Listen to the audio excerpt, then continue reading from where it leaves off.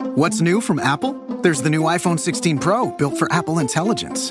And it comes with the all new camera control, giving you an easier way to quickly access your camera tools.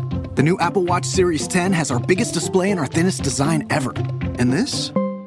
It's the sound of active noise cancellation, now available on one of two new AirPods 4 models. So quiet. Check out all of the new products and new features at apple.com. You can even buy yourself something new. See apple.com for product availability updates. Apple Intelligence coming this fall. Hear that? Pumpkin. That's fall calling.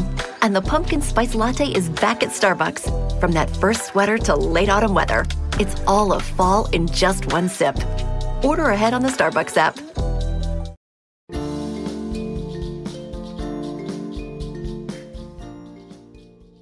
Hi, I'm Shannon, the podcast producer here at C SPAN. And this week on the Lectures in History podcast, presidential historian Lindsay Chervinsky discusses how presidential foreign policy and war making powers evolved from the time of George Washington to the modern era.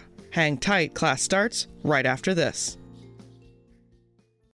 Hi, everyone. So, we're going to get started um, on uh, our third lecture Foreign Policy and War Powers. As we discussed this morning, we are going to change up the format a little bit. So, I'm going to give the lecture and then I'm going to ask you guys to hold your questions if you can until the end because there's a microphone in the center, and it's really important that we ask the questions into the microphone, not so that I can't hear you, because obviously I can hear you, but so that the camera can pick up on it. So, um, but you were so wonderfully engaged earlier this morning, so I hope that the change in format won't dissuade any questions uh, or dissuade any um, engagement uh, at the end of our chat. So, one of the strange things about foreign policy is that it doesn't actually say what it is. We talked this morning about the president's treaty making powers and how those are clearly defined in the Constitution, but that has come to be one very small part of what it actually means to craft foreign policy. There is, of course, the war part of foreign policy, and then there is the not war part. But the not war part has a lot of different pockets.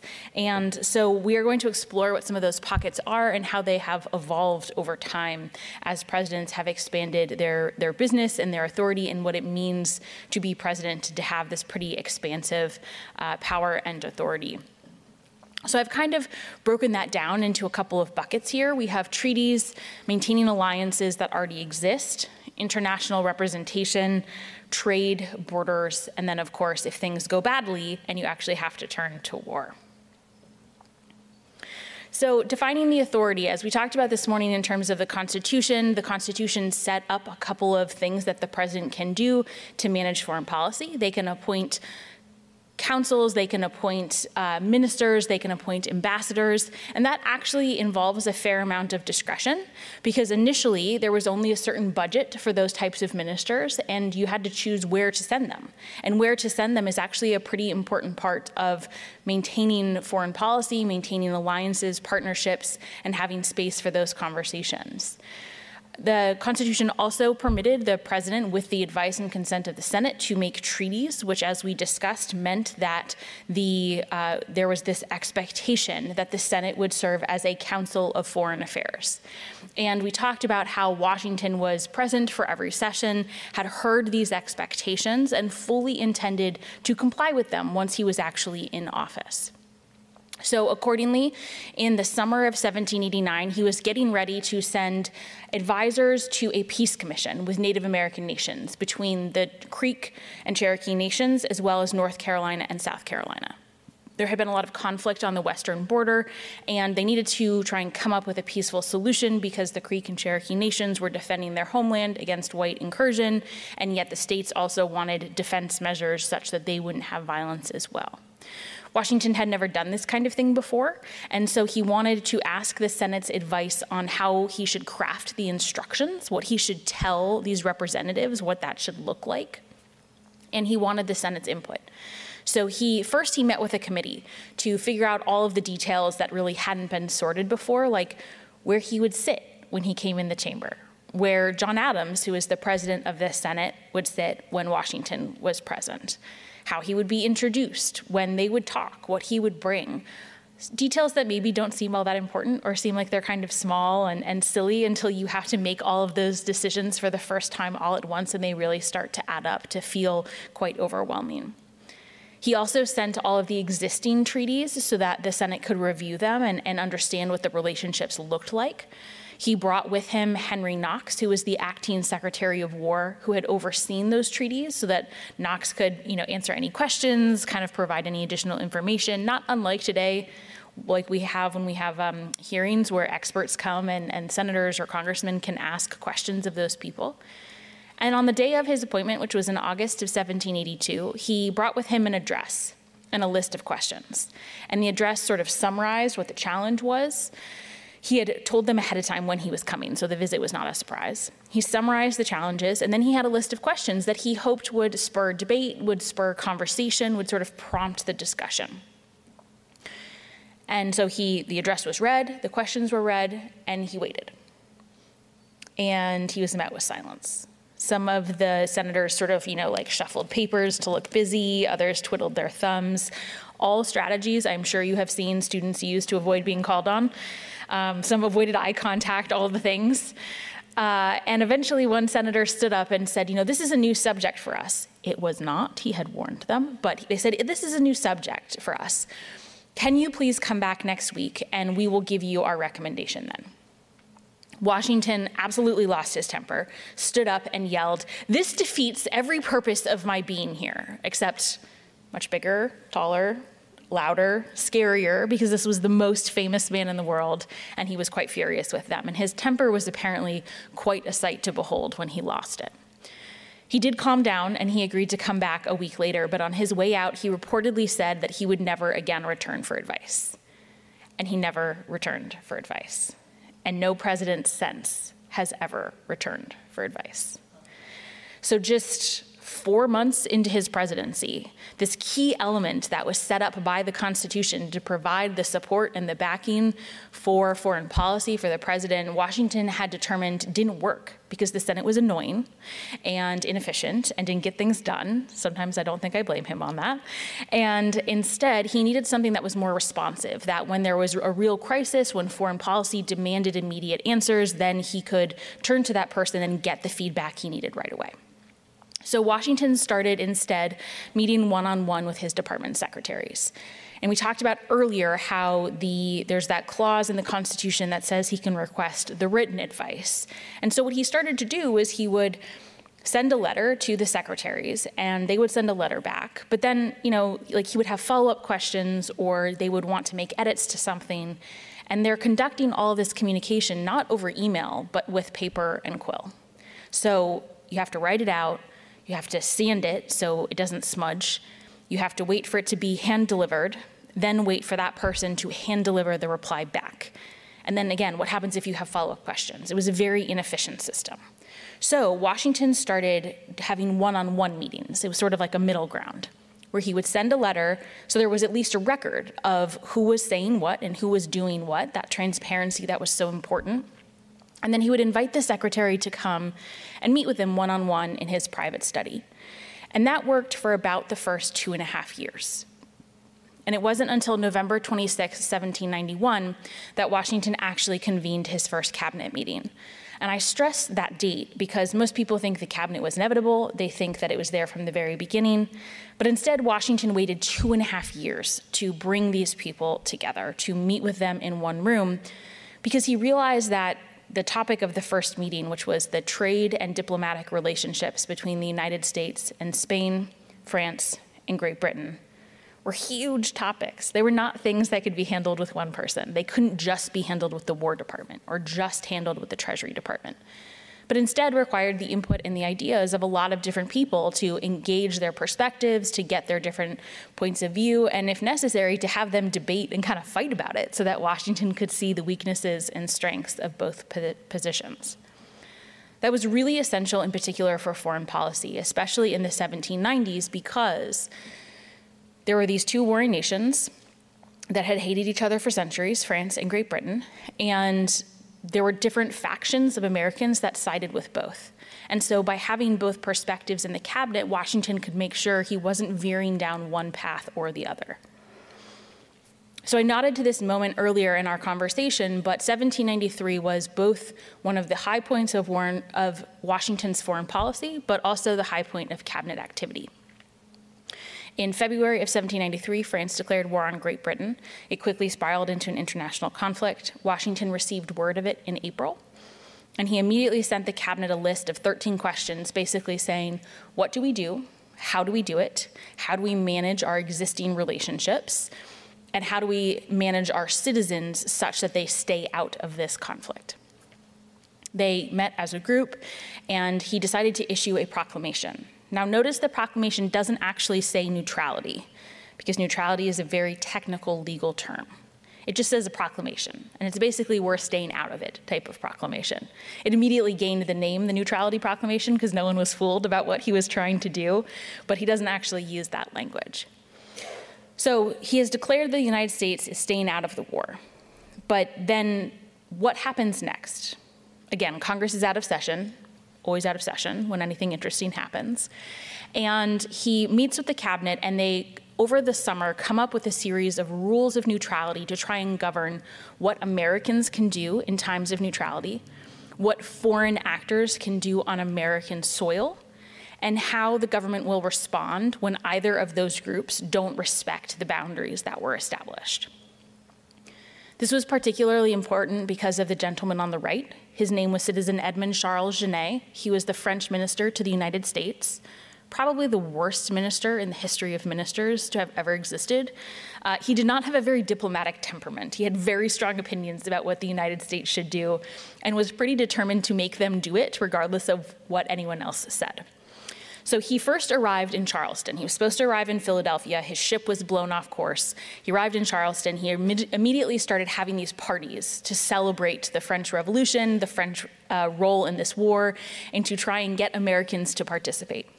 He then learned of the Neutrality Proclamation and did not adjust course whatsoever, and slowly made his way up to Philadelphia to present his credentials. Upon his arrival, Jefferson told him, like, basically, knock it off. Like, we have decided we are not participating in the war. And Genet said, that's nice, and continued doing exactly what he was doing before. Now, the problem was that the treaty that had been signed between France and the United States, called the Treaty of Defense, required both nations to come to the aid of the other. Jefferson argued, it's fine, we can ignore this treaty because France attacked Britain. Britain didn't attack France, so we are not obligated to participate, but the treaty still stands. We can still be good allies. It's all fine. Hamilton, Alexander Hamilton, the Secretary of Treasury at the time, said the treaty is not in effect because, to quote the great words of Lin Manuel Miranda, the person with whom we signed its head is in a basket. And he was he was correct about the head. I'm not sure he was correct about the legal interpretation because that's a little bit fuzzier. But the treaty had been signed between the king and between the American government, and the king was obviously no longer alive because the French Revolution had taken a very bloody turn. So, what Genet was basically saying was, you are obligated to come to our aid by this treaty, and Americans were saying, no, we're not. This was complicated by the use of privateers. Are there any West Wing fans in the audience? Wonderful. So, one of the all time best episodes is the privateer pirate episode, in which um, Abigail Bartlett's membership at the DAR uh, is questioned because her ancestor was a privateer, and some of the people thought that her ancestor was a pirate. Um, it's fantastic. For anyone who hasn't seen it, highly recommend. Privateers were used by every power that was engaged in any sort of conflict in the 18th and 19th centuries. It was basically a private ship that was captained by a citizen sailing under a, what was called a letter of marque or a license from a foreign nation to attack that nation's enemies.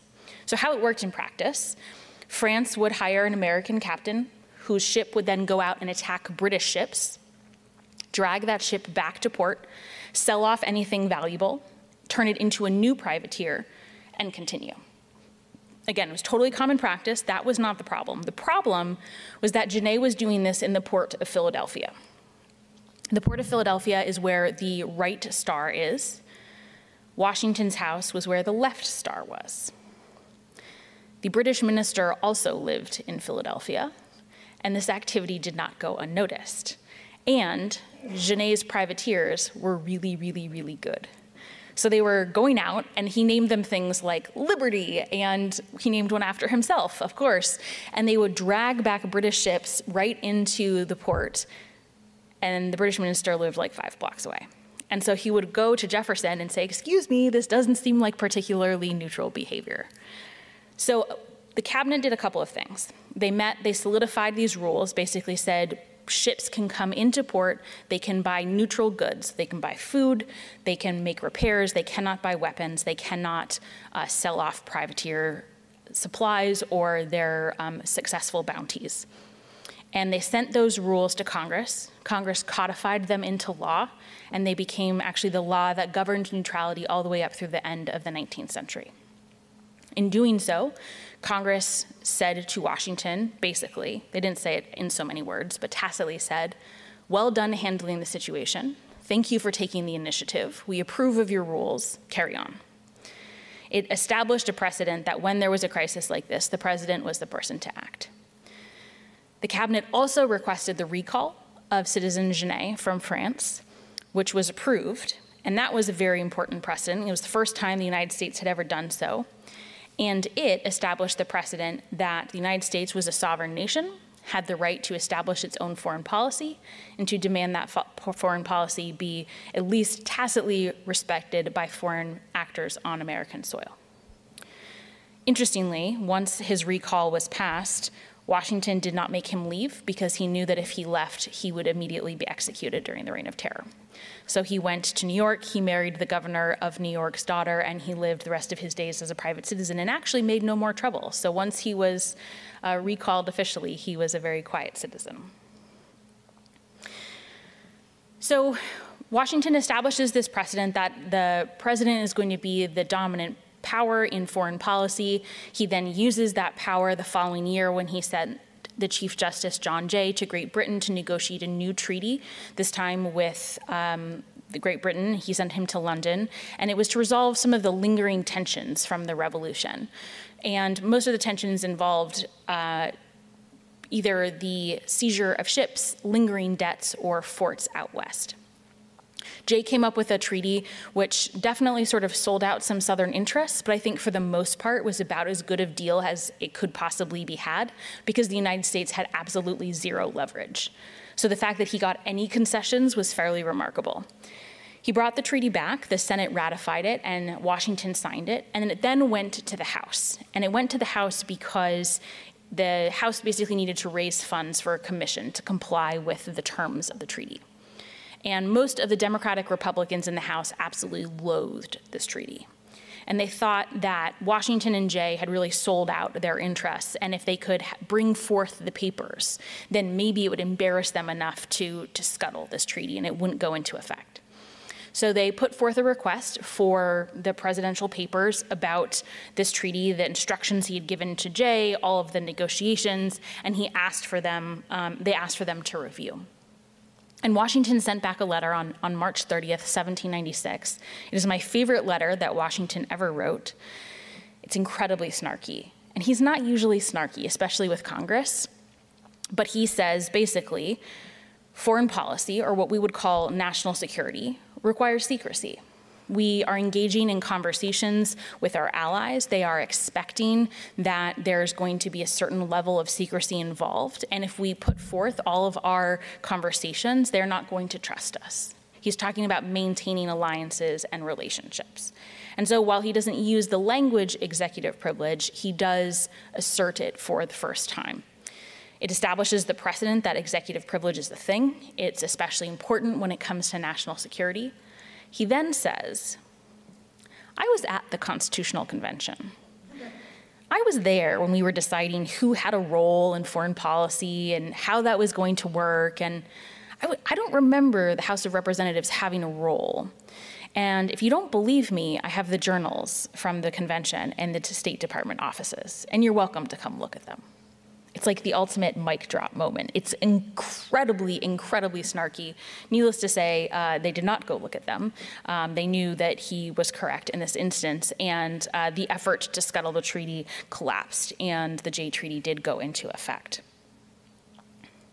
Just a couple of years later, John Adams was tested when it came to the alliance concept and the, the foreign policy concept relations with France had really deteriorated after the Jay Treaty because they felt like it was very unfair. And they started to seize French ships, or excuse me, French ships started to seize American ships and um, seize all of the goods and sometimes impress the men that were on board. Adams sent a three person commission to try and negotiate a, a, treaty. It was called the XYZ Affair. That's what it turned into. The three men that he sent were John Marshall, Charles Cotesworth Pinckney, and Elbridge Gerry. He sent them, and they immediately were met with these unofficial representatives, these unofficial people from the French government that didn't have any sort of title or power to negotiate. They demanded bribes and loans and really inappropriate apologies on behalf of the president. And he and um, they wrote and basically the American officials decided that they were not going to adhere to any of these demands. They refused to participate. And they uh, sent back these reports of these conversations. And those reports became known as the XYZ dispatches. It was called XYZ because the people they were meeting with, they didn't list their names. They were called Agent X, Agent Y, and Agent Z. Once these reports were made public, the American people were absolutely outraged. They felt like it was a real insult to their sovereignty, a real insult to national honor that these terms had been demanded, and there was a real lead up to war. We'll talk, I mean, if you're able to join me this evening, I'll talk a little bit more about this process. But ultimately, Adams asserted his right to send another commission once it was clear that the French government would indeed meet the terms of uh, diplomacy between two sovereign nations. And um, in addition to, of course, making defensive preparations, so they expanded the army, they created a navy for the first time, and he did send new ministers in 1799, which produced the Treaty of Mortefontaine. The Treaty of Mortefontaine was signed in the fall of 1800 between Napoleon and the US representatives. It established the longest lasting alliance in the world between the United States and France. We have been at peace ever since.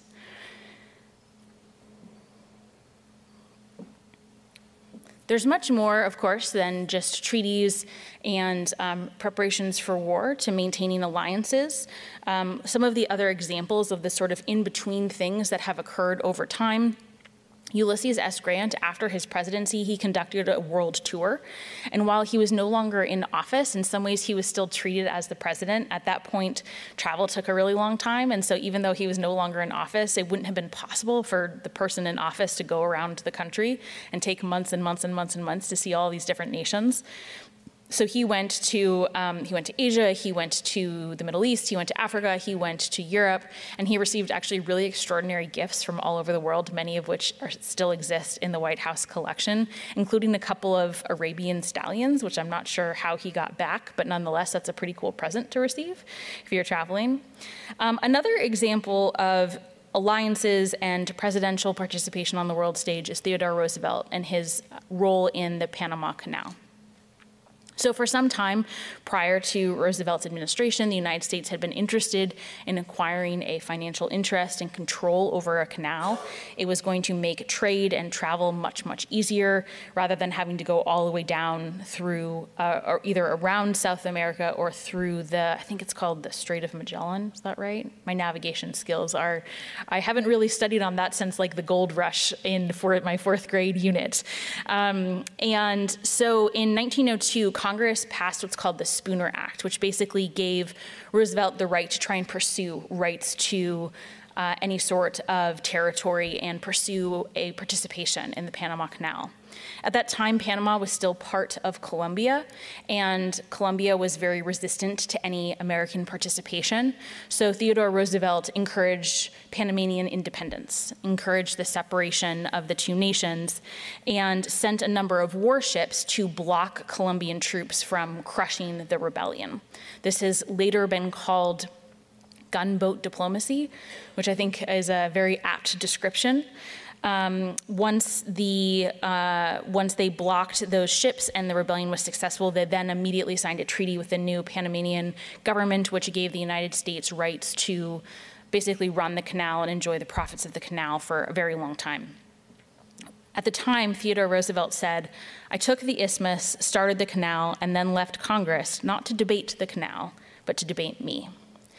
And I think that is both a very accurate um, distillation of Theodore Roosevelt's personality, but also a demonstration of how oftentimes the president does something and kind of forces Congress to either reject it or deal with it. And um, certainly in foreign policy, that is true. Not everyone loved this. At the time, the New York Times called it a sordid act of conquest. So it's not always popular, but it, he certainly um, received a lot of acclaim from those who wanted to have that type of role in Latin America. So some of the, the more traditional acts of maintaining alliances and maintaining diplomacy occurred in World War I and World War II. The picture of the left shows Woodrow Wilson, where he was uh, in Europe to help negotiate the end of World War I to try and figure out the League of Nations. He, of course, presented his 14 points, which were um, ultimately, while not successful, were some of the ideas behind the original creation of the United Nations and the, this concept that there should be an international community to try and talk with one another and prevent future war. We talked a little bit this morning about FDR and Churchill's close relationship. They, of course, met at the White House. They met on various warships off of Newfoundland, but they also met in Europe several times to figure out strategy, to, to figure out next steps in the war, and later they included meetings with Stalin and with de Gaulle as well.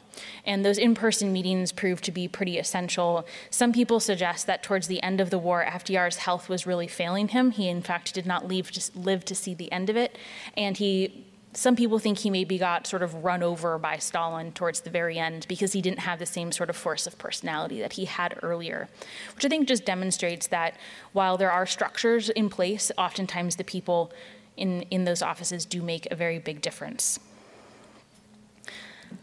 Eisenhower was uh, notoriously good at understanding this type of diplomacy. He, as Supreme Allied Commander during World War II, he had understood the importance of the diplomacy, and so he had worked with leaders from England, he had worked with generals and admirals, he had maintained these relationships and developed political skills, I think probably far better than most politicians, because trying to keep all those nations together in the middle of a war was no small feat. He then used those skills and used those relationships, many of whom were in positions of power after the war, to try and create a post war world that reduced the likelihood of nuclear annihilation. His meetings in Europe with some of the Soviet leaders led to some of the first um, limits on nuclear weapons, or at least conversations about limits on nuclear weapons. And he really staked his personal, I think his personal prestige, his personal stature, and his ability. I mean, no one was going to call Eisenhower squishy, right? No one was going to call him weak on war or weak on any of those things. And so he used that to his advantage in a way that was quite effective. He was also apparently an absolutely brilliant poker player.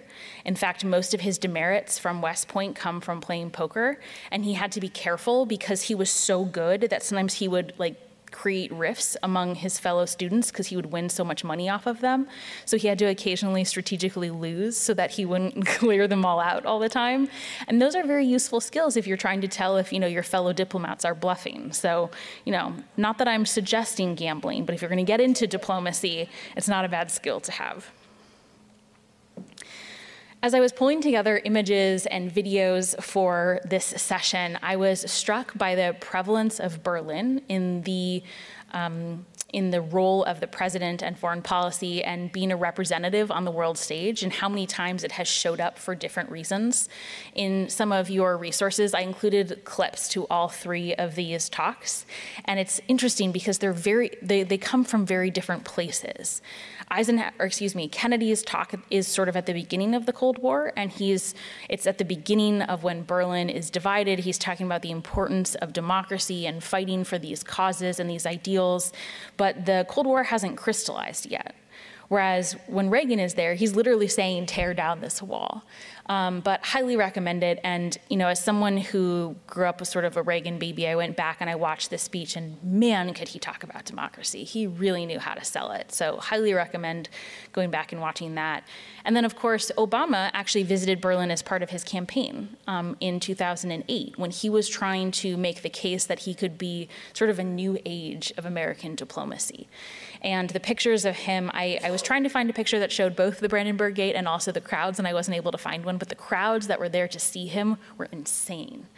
Um, and it's, it's just a really interesting example of how the president or presidential candidates know that they have to be this force on the world stage, and yet Americans often don't vote based on foreign policy, and yet it is still a big part of what they're supposed to do.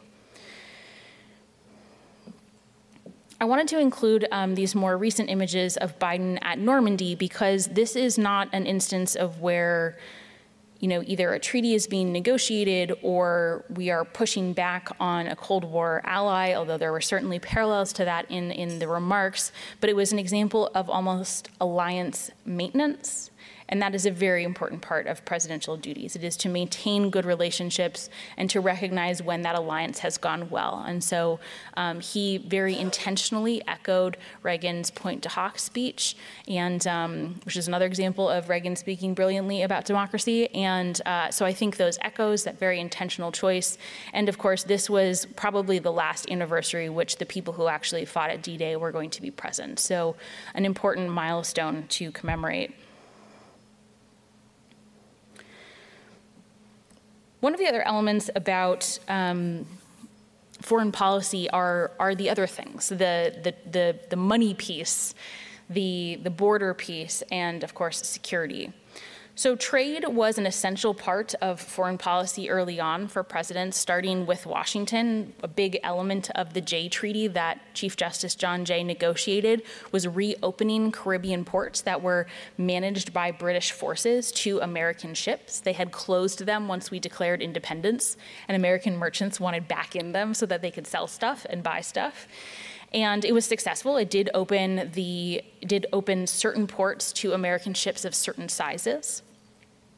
John Adams continued this trend in uh, shortly after the French Revolution, enslaved forces at, in Saint Domingue, which is now Haiti, declared independence, inspired by the rebellious rhetoric. And uh, the Haitian Revolution over the next decade plus was incredibly contentious and very violent, but was both a obviously a, a movement for independence, but was also an opportunity. And American forces had had a very vibrant trade with people in the Caribbean, and they wanted to resume that trade. And so, uh, basically, the Haitian government, led by Toussaint Louverture on the right, sent um, sent, they didn't send ministers, but they sent representatives to Philadelphia, where John Adams and the seat of government was located, and they asked not for official diplomatic recognition, but for trade recognition. And John Adams and Timothy Pickering, who was the Secretary of State, did indeed agree to these terms. They um, signed a, a, trade agreement between the United States, Great Britain, and Haiti. And what the agreement basically said was that Haiti would do its best to not permit the revolution to spread to British colonies in the Caribbean and would not allow too many refugees to go to the United States because Southerners were very concerned that that enslaved uprising might come to the United States. And in return, American ships would bring tons of food and sell it to Haiti because most of Haitian land was used for sugar cultivation. And so they needed food and supplies to keep their people going while it was very much an economically motivated moment, it was actually a symbolic one because it was the first time that the American government had engaged in any sort of arrangement with a black led government or a black led sovereign nation.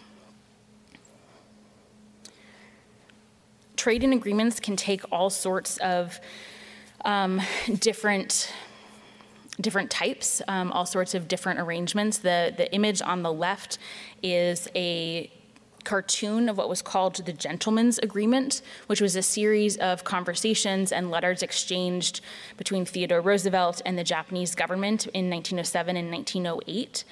In and it was it was never there was no official document ever signed hence gentleman's agreement. And it basically repealed the school segregation orders in california which separated japanese students from white american students. And in return the japanese government would not permit any new immigrants to come to the United States, with the exception of wives of people who were already on American soil. And this was partly to reduce the racial tensions in California. There, were, there was a great deal of xenophobia, especially around um, the expansion of the railroad and other various different laboring industries. And so the Japanese government basically said if you treat the people there a little bit better, we will not permit any more to come. This is an important moment because usually up until this point, Congress had really taken primary control of immigration. And so this was a moment when the president was sort of working outside the bounds of the law, not illegally, but not necessarily signing a legal agreement to limit who could and could not come to the United States. The image on the right is of the Treaty of Washington, which was signed during Ulysses S. Grant's presidency. It was negotiated by Hamilton Fish, who was the Secretary of State, I think the all time best name for a Secretary of State personally. Um, and it was a really important treaty because it uh, resolved tensions between the United States and Great Britain left over from the Civil War, in which they had kind of maybe silently sort of helped the Confederacy from time to time, and the United States wasn't very happy about it. But it also established the principle of international arbitration. So if there was a conflict between two nations and you had to settle an, like a financial agreement, how you were going to do that, and it created this concept of international arbitration. These cartoons and the picture up top show um, the development of the Lend Lease Agreement. The Lend Lease Agreement was not a treaty, it was basically a way for the United States to give as much supplies to Great Britain to fight the war against Nazi Germany without actually signing a treaty. And they sent all of our old military stuff in return for 100 year leases of naval bases that were going to be very useful to us. Um, it was a way to get around the Neutrality Act, which was currently on the books. It was FDR's sort of brainchild.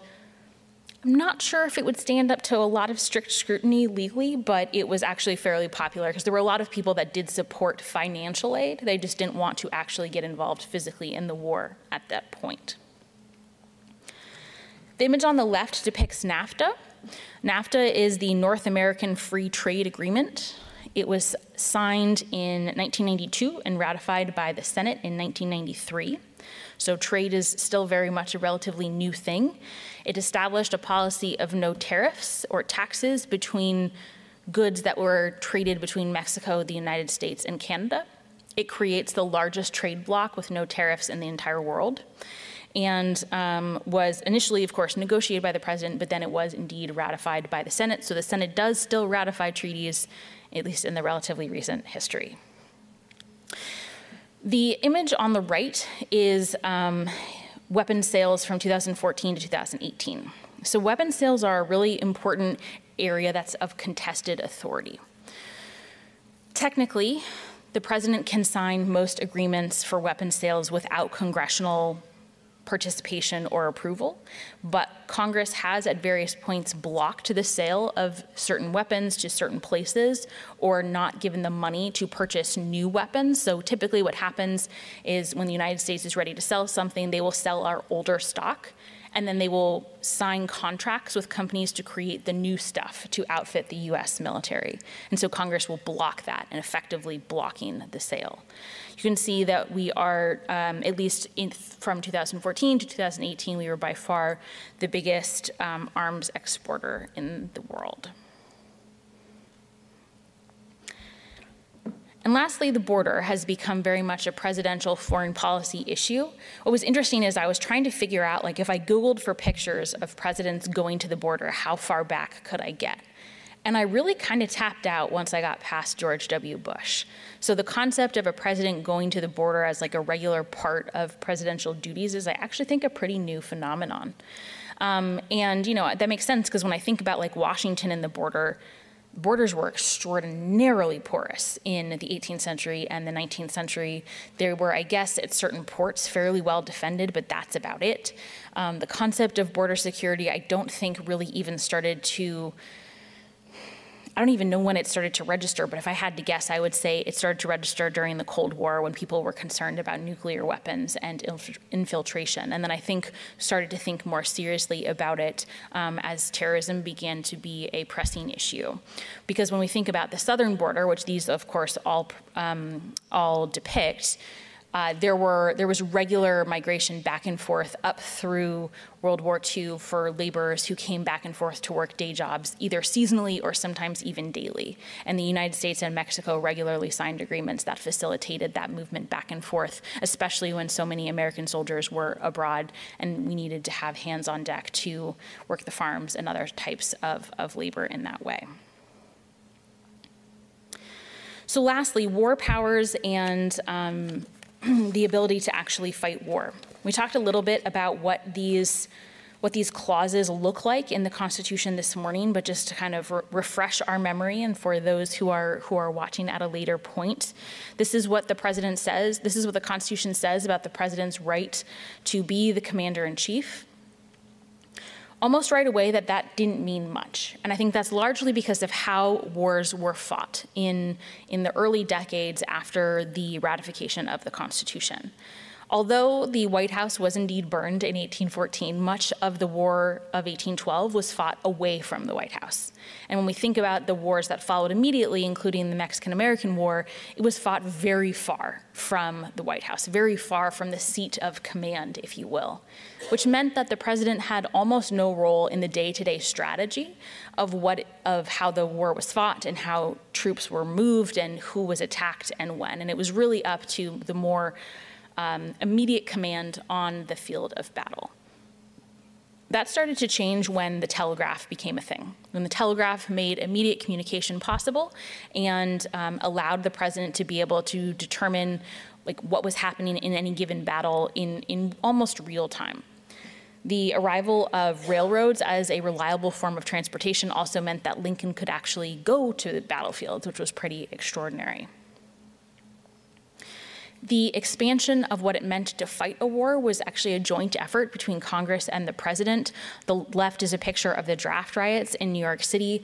The concept of a draft was a new one. It was implemented for the first time in the Civil War, as was an income tax to actually fund said war. So it wasn't just the president's authority that was expanding, but also Congress's at this point.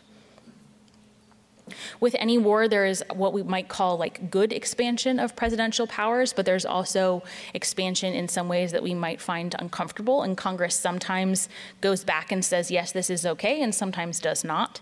So, for example, early on in Lincoln's presidency, he suspended the writ of habeas corpus, and Congress was concerned that this would either be deemed um, inappropriate or illegal later on. And so they actually went back and passed a law approving his use of habeas corpus and giving him the right to do so in certain places in certain times. FDR approved the internment of Japanese American citizens. There had been some internment in World War I, but not nearly on the same scope or scale as World War II. While the Supreme Court initially did approve that decision, it of course over time has been rejected, and there have been official apologies and rejections of that policy since. And then the last piece is Truman's use of nuclear weapons. I don't want to say that that is good or bad on the same way that Japanese internment, I think, is a clear no, and we don't want to do that kind of moral behavior. But nonetheless, Truman was the one to issue the order to use nuclear weapons. Congress was not involved in that decision. So it was almost a unilateral decision by the president, with, of course, the advice and support and guidance of his military advisors. And that is an expansion of presidential powers that I think the framers would have trouble even wrapping their minds around, not only because they would have no idea what nuclear powers are, but it's just such a huge, um, it's such a huge shift in what the world looks like. As we move forward, I think this is one area where there's a great deal of room for reform and expansion and rethinking what this looks like, how we want to approach it, and um, what the roles of the different branches are. In terms of the wars that have actually been declared by Congress, there have only been five. Most of the longest wars, certainly some of the deadliest, are not on this list. That's probably something we should think about as a general rule of thumb. When wars that have taken place that Congress starts to question, when there's reporting that either the executive branch is not being honest about how things are going, when reports on the ground that things aren't going well, as was the case in Vietnam, then you started to see Congress pushing back, looking, conducting investigations into how the war was actually going, and ultimately passing the War Powers Act, which tried to rein in some of that presidential authority and required the president to consult with Congress, um, how quickly they had to consult with Congress, and what that meant. The War Powers Act is still on the books, although it has been amended. But the problem is that it has turned out to be incredibly squishy in its interpretation. Um, what does consult with Congress mean? What, you know, what are American forces? Who counts as an American force? Um, what is imminent involvement? What are hostilities? These are all questions that, as the scope of war and the type of war and weaponry in war changes, interpretations of these things change as well. Certainly, the war on terror brought a lot of these questions home. Shortly after the attacks on September 11th, Congress passed this joint resolution, which gave pretty broad and expansive powers to the president to combat the threat of terror going forward. Congress, again, has since clawed some of this back, trying to restrict what the president can actually do, has established some guidelines on when force can be used, and there's ongoing effort to try and figure out how to manage the advent of things like drones. That was a part of war that was not envisioned in the Vietnam War, it was certainly not envisioned in World War II or in the founding era. Our relationship with the civilian and military population continues to be an ongoing question. So the United States has uh, at least a long tradition early on of being a little bit distrustful of standing armies, of being distrustful of military power at the heart of our executive. And yet, over time, we have elected 12 generals now, some don't really count because they were like Rutherford B. Hayes and they were, you know, sort of like a voluntary general during the Civil War. These are the three that I think of as really being the generals. Um, and I do so for a couple of reasons. One, they did not hold any sort of elected office or political position between the time that they were in command and the time that they took the office of the presidency. Two, they uh, were the head of military command of whatever they were commanding, whether it was the commander in chief of the Continental Army or the head of the American forces or the Supreme Allied Commander. Three, their reputation was so unparalleled when they took office. Now, Washington was elected unanimously twice. No one, of course, ever was going to do that again. But Grant and Eisenhower were really quite unparalleled in their own time. And yet, all three were very attentive to civilian oversight to civil military divide to respecting and honoring that. Eisenhower, of course, most famously gave the military industrial complex speech in which he warned about allowing military to really take over society and the damage that that could do to long term democracy. I should say that there's also other threats to the civil military divide. I mean, right now we have what's called an all voluntary army which means that we don't have a draft. On one hand, all voluntary armies tend to be much more effective because when you have a, a draft, that means you're going to draft people who are not particularly always effective as soldiers. On the other hand, that means that a very small percentage of the population tend to bear the brunt of any cost of war, of fighting the war. Their families bear the brunt of it, and most citizens are pretty detached from the realities of that conflict. So there are pros and cons to both situations. Um, but I think that as we move forward, we will have a question of like, what is the role of the military? What is the, the, what is the role of politics in the military? We are always questioning in election cycles if generals can speak out, that kind of thing. I suspect that will continue to be a conversation. And lastly, just some other issues that I could foresee being foreign policy questions going forward. So the picture on the left is a picture of NATO NATO is, of course, the North American Treaty Organization. It is a treaty, but there is a question of can presidents leave treaties without Senate confirmation? Senates have to approve treaties. Do they also have to approve leaving them? That will be a question that I think will absolutely come up in the future. The military has deemed climate change one of its most pressing threats because it affects how they outfit their soldiers, where they keep their ships and other vessels, um, what sort of threats they have to think about. Extreme heat and storms are always a risk. So I think climate change is always going to be a pressing challenge for foreign policy. It also tends to exacerbate existing refugee situations. So as we think about the flow of people and how that is a foreign policy question, that should be something to think about. Uh, Ukraine, the war in Ukraine is absolutely going to be a uh, foreign policy topic of conversation going forward. We are not officially in the war, and yet we are very much supporting Amer- uh, Ukrainian forces. And so the role of the president to determine that level of support is going to be pressing. And lastly, tariffs. Tariffs, I, I, used to make a joke that tariffs weren't particularly a sexy topic, and apparently I was wrong because they have come back in full force as a um, election topic. And um, so I suspect that that will be a absolutely a foreign policy question and one uh, about the executive that we have to face going forward. So those are just some of the challenges I see on the horizon. So what are your questions? Let's discuss foreign policy, war powers, the president's authority, evolution, et cetera, et cetera. I'm sorry, you have to stand up to use the microphone. In theory, I guess we could also pass it around. Just please use the microphone. Thank you. Is it on? Uh, boom mic or okay. So, in your experience and your expertise, which president was able to juggle all these facets of foreign policy the most effectively in their time as president? Yeah, it's great. I love the way you phrase that because you're right that it is a juggling act. I mean, the fact that one person is kind of supposed to be overseeing all of this is insane. Um, I think the presidents that have done it best are the ones that both have a powerful foreign policy presence themselves, like Eisenhower or FDR, but also know not to, are, are not afraid to delegate because you cannot do everything yourself. So Grant was really good at delegating, Eisenhower was really good at delegating, FDR a little bit less so. I think that, I mean, I think in the 20th century, I think Eisenhower was probably the best for sure. Thank you. Thank you. Uh, you referenced the gentleman's agreement that we had with Japan, completely unofficial. But did any other presidents over the time, like especially when we get into the civil rights era of our history, did any of them ever attempt to use that as a precedent to try to desegregate schools before Brown versus the board? Oh, that's a great question. So, um, both Truman and Eisenhower talked about the foreign policy implications of the civil rights movement. And they referenced with great specificity the fact that Hitler had studied in some detail Jim Crow laws as a way to create a second class set of citizens, and that the Soviet Union was using segregation as a way to say that communism was better. So they didn't necessarily try and use it like to actually create a legal agreement like Theodore Roosevelt did, but they were using it as a powerful moral tool of persuasion.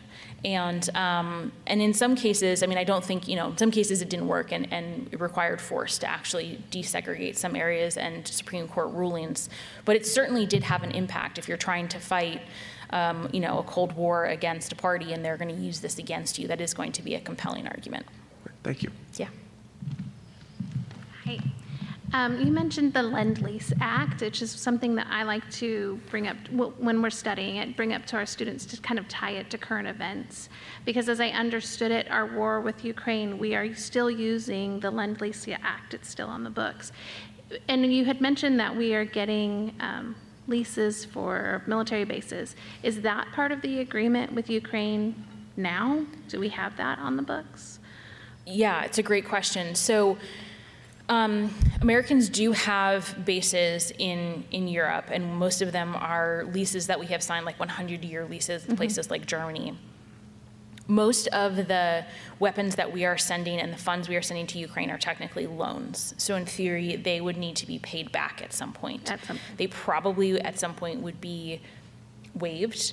Um, but the, I'm really glad that you brought that up because the way it's being structured is the same way in that Americans are taking our old tanks, our old weapons that are almost about to expire, that we cannot, we will not be able to use in a year or two, sending them to Ukraine, and then signing new contracts with American companies to hire American civilians to build new products. So for the American economy, it's a really good thing, just like it was um, in the Lend Lease Act. We were, we were doing the same thing as we did in the 1930s and early 1940s. Thank you. Thank you.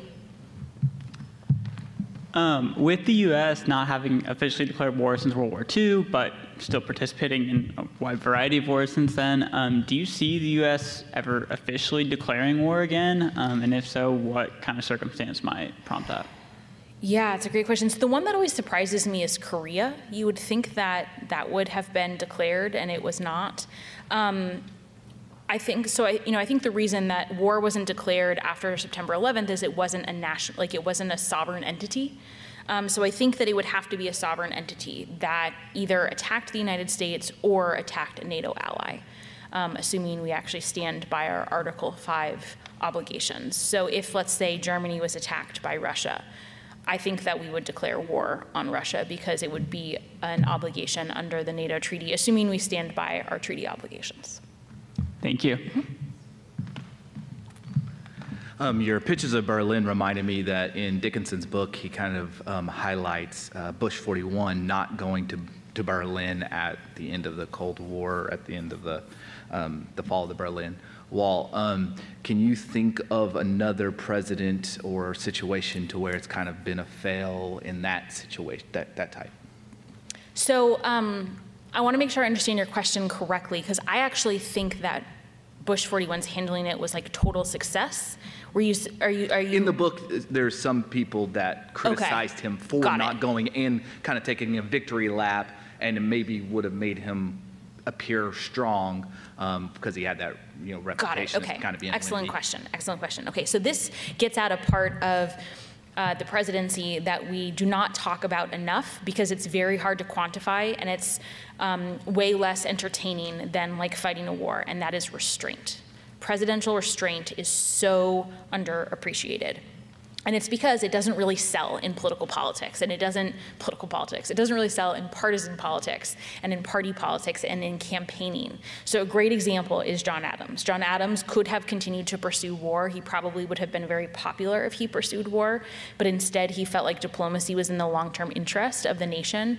Practice restraint. It was. It did not really necessarily help his electoral prospects, but I do think it was in the long term interests. I would make the same argument about Bush 41. So he did not take a victory lap. He probably, well, he certainly would have had a better shot of getting elected or reelected if he did, but I think by not taking a victory lap, practicing restraint and allowing there to be like sort of a slow dissolution, he reduced the likelihood of nuclear conflict, which ultimately I think is in the long term interest of the globe. Thank you. So we've, we've talked some about how the job of the presidency has just kind of become impossible and the importance of delegating. Could you speak to how vice presidents have been used in foreign policy, and is that a role that could be fulfilled by vice presidents in the future? Excellent question. So Vice presidents were not really a thing until World War II at the earliest. The office of the vice presidency was created in, I think, 1937. Uh, John Nance Garner was the first to have an office. Um, Walter Mondale is generally recognized as the first vice president to actually have any sort of influence because he and Carter had weekly lunches. I would argue that the current vice president concept that we think of as like a governing partner or a junior partner was actually a creation of Dick Cheney.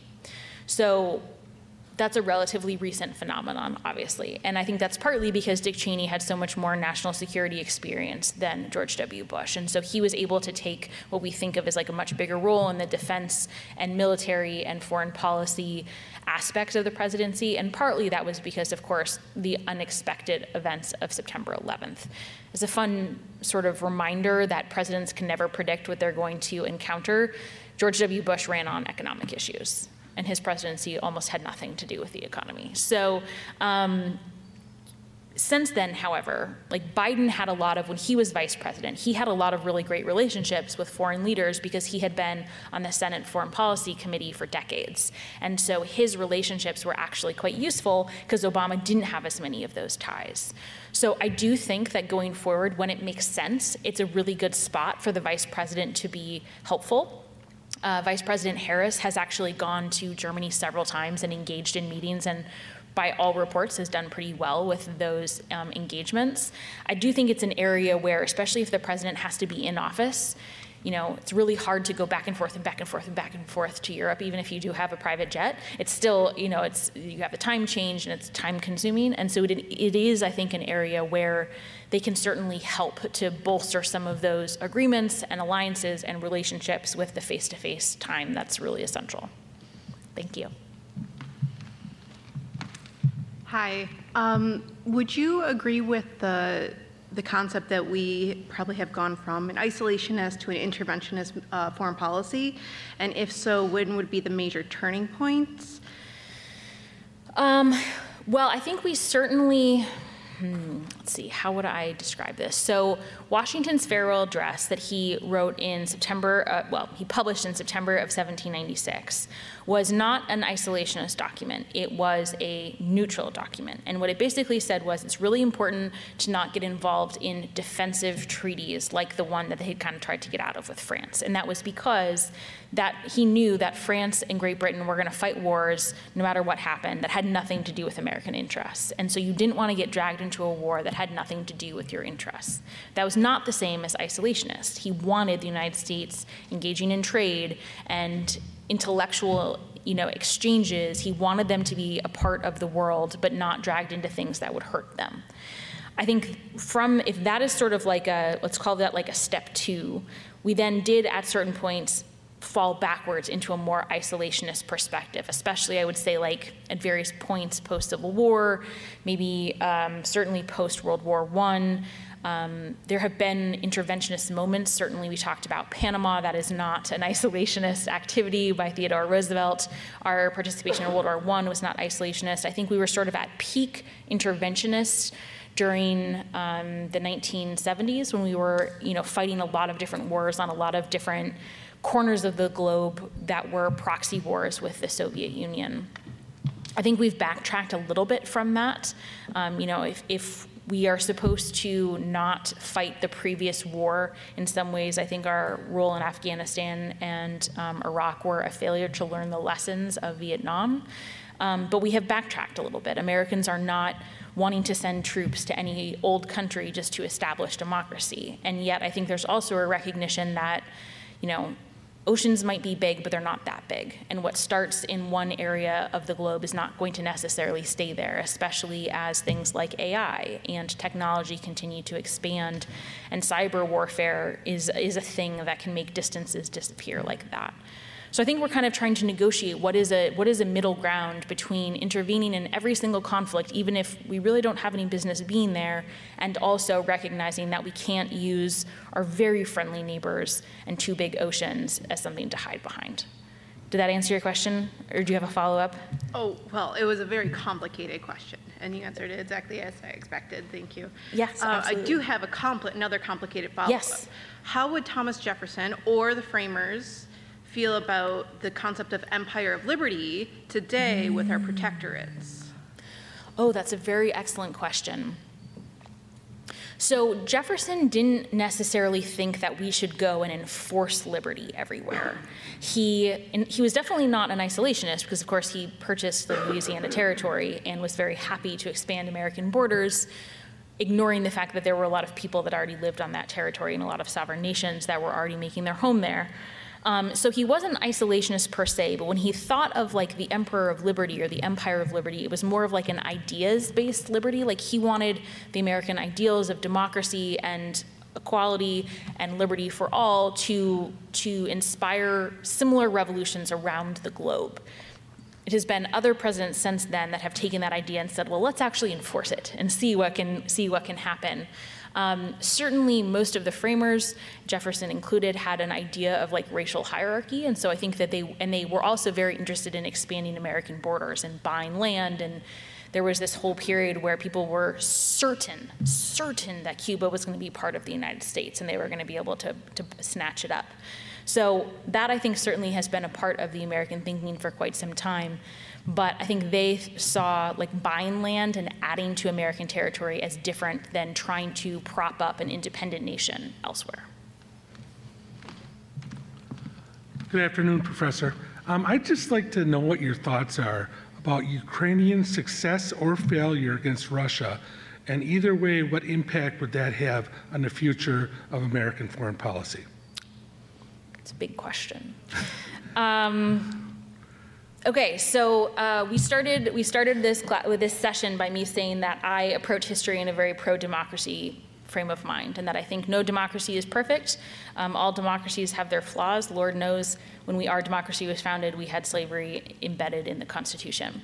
That being said, I think democracy is, uh, as to use Churchill's quote, democracy is the worst form of governments except for all of the other ones. And so um, I think democracy is good, the spread of democracy is good, the fight of democracy against authoritarianism is always a fight that, at least intellectually, I want to support. I think the problem with uh, Russia and Ukraine is it's very clear that if Russia were to win in Ukraine, they're not going to stop there. Putin has been very explicit that he wants to basically put back together the, the old Russian Empire pre Soviet Union. He sees, I think he has a portrait of. Um, Peter the Great in his in his office in his palace, and that's what he wants to re- restore Russian boundaries to. And when we are dealing with bullies, whether it's on the playground and we're five years old, or we are dealing with dictators, if you don't push back and if you don't um, fight back against their expansionist efforts, they will only continue to do more so. And we know that because we didn't do much when he took Crimea in 2014, and that therefore emboldened him to try and take more of Ukraine. So I don't think we should send uh, American troops there right now. Ukraine is, of course, an ally, but it's not a NATO ally. That doesn't mean we can't support them financially. And I think that if you ask the, their neighboring countries, places like Poland, places like Latvia, places like Estonia that have the most to lose, they will tell you that if Ukraine falls, they will be next. Um, and so, to me, I think Ukrainian success is essential for the long term survival of democracy, both in Europe but then also, we know when democracies do well in one place, that makes other democracies more successful. And when democracies struggle, that makes other democracies more prone to failure. So to me, it is a global cause for democracy. Right. Thank you very much. You're welcome.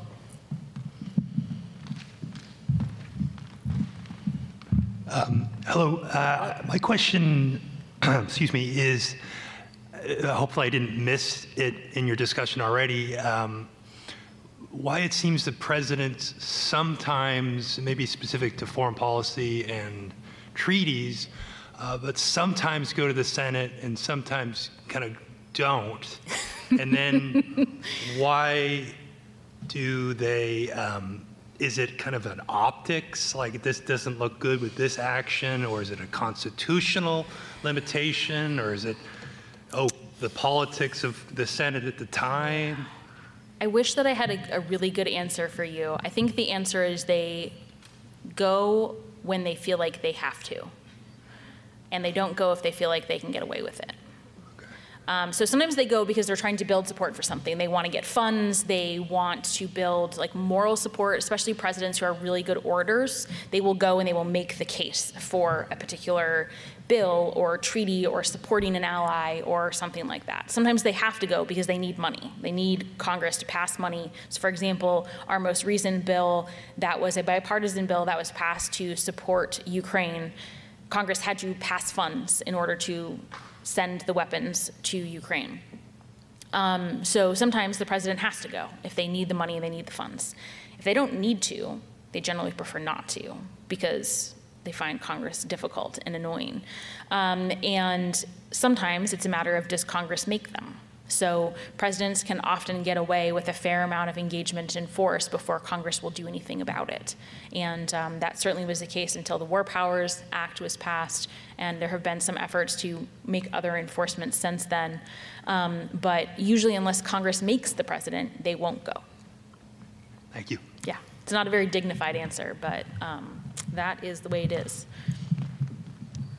You may have just answered my question. Um, you talked about Haiti earlier, and for whatever reason, it's a place near and dear to my heart. So, in addition to the economic interests that we've had in the past, and and we have provided stability historically as well, but with their current crisis, um, what do you see as the role of the United States, um, given that it's affecting their entire government, their entire country, their economy, their people. Um, the United Nations is there, Kenya's there. We have had a very minor role to this point. Do you think we will or should get further involved? Yeah, it's, it's a really great question. And Haiti is an example of events from a very long time ago still having a huge impact because when France finally granted independence, a lot of people don't know this element of it. They demanded that Haiti sign basically reverse reparations. So Haiti had to pay reparations to France for their freedom for a very long time, and it started the country in a deep, deep hole of debt, which made economic development nearly impossible. You're right that it, whatever happens in Haiti doesn't stay in Haiti, and it does have an international impact. I think at this point, I don't think the United States should act unilaterally think we don't necessarily have a great track record of doing so. And we don't have the attention span or the willpower to put the type of time and financial investment required to actually build up institutions in a long term way. Nation building is really, really hard and really complex and takes a really, really long time which is something that is generally, I think, better suited for, in theory, an organization like the UN, and then also a lot of the, na- the non government organizations, NGOs, that work are on the outskirts to teach people how to engage in institutions, to teach electoral practices, to start to cultivate the civic environment required to uphold those things which is not in any way supposed to sound pejorative that that's essential in any country that doesn't have a tradition of you know democratic involvement it's required um, while I believe so strongly in the concept of the UN, it hasn't necessarily proven to be as effective as I would like it to be. So that's kind of a suggestion without a whole lot of backing. Um, and that's a very sad answer. I wish I could provide a more hopeful. I just think that if the United States acts unilaterally, it, I don't think it will help. I think like it might help in the short term, but it actually long term would set it back because we we don't have the staying power in that kind of place. And also, I'm not sure it's a very good look. Like I don't know that we want to go in as like the saviors. Um, whereas if it's a UN action, then it's a recognition that we do live in this international community and we have to try and help uplift the more vulnerable. Um, but that's also a hard sell. Thank you.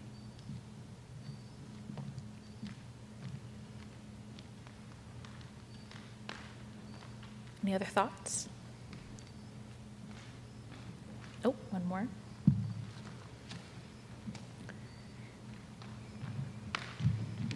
Sorry, I've got one. Uh, the Treaty of Versailles. Yes. Wilson chose not to work very closely with senators when he went over to overseas do, do you think he would have been more successful had he grabbed on to some senators and brought them over to, to Versailles himself? Yes, absolutely. So Wilson was brilliant. Um, pains me to say, as one of the few history professors that ever made their way into the White House, he also had the biggest ego of like anyone in the 20th century, and that's definitely saying something.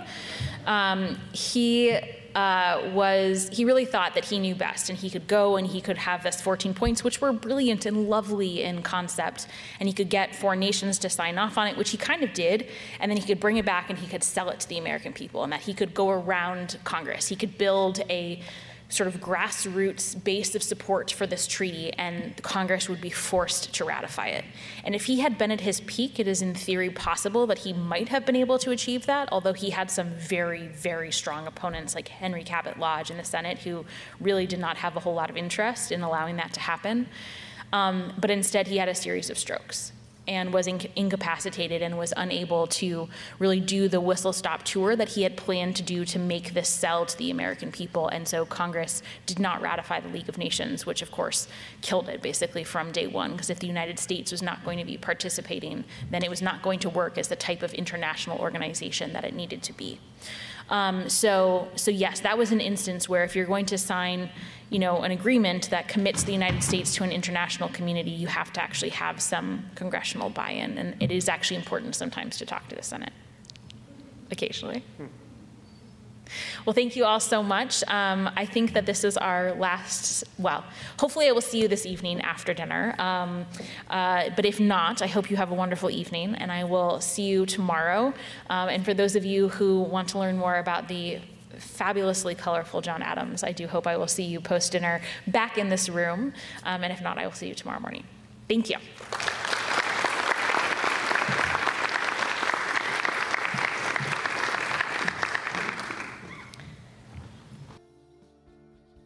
Thanks for listening to this week's Lectures in History podcast. To find even more history content, visit c-span.org slash ahtv.